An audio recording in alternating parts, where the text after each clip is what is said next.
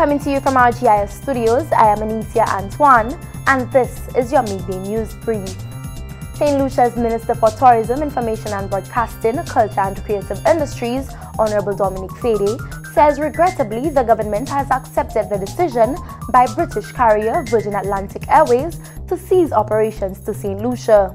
Honorable Dominic Fedee revealed that government has been in dialogue with Virgin Atlantic Airways over the past few months with the view of sustaining the existing flight service from London Gatwick to Hewanorra International Airport. However, Virgin Atlantic was adamant that 20 million EC dollars or 7.5 million US dollars would be required to maintain five weekly flights in the winter months and three weekly flights in the summer months.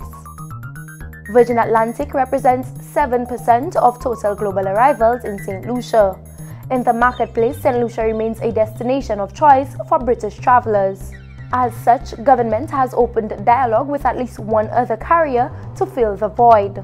Honorable Dominic Fedee indicated that government will continue to engage Virgin Atlantic to arrive at a mutually beneficial relationship in the future. With a contingent of 80 individuals, Team St. Lucia is hoping to make a statement with its presentation at Carifesta 14. With a mix of theatre, music, literary arts, performance poetry, traditional performances, visual arts, craft and fashion, the Cultural Development Foundation says this year its participants understand clearly the intention of the festival.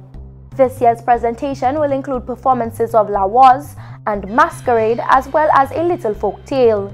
The Cultural Development Foundation is thankful for the contributions of all those who have invested in this year's participation, including the government of St. Lucia, in particular, the Minister responsible for Culture and Creative Industries, Senator Honorable Fortuna Belrose.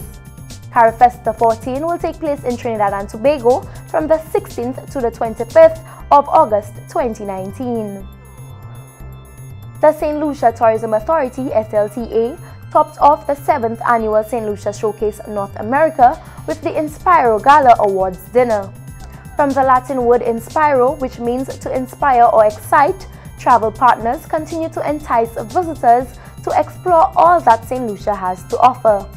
Top achievers for the year 2018-2019 were recognized for their outstanding contributions to St. Lucia's tourism industry. Tour operators remain a viable and important part of SLTA's distribution strategy.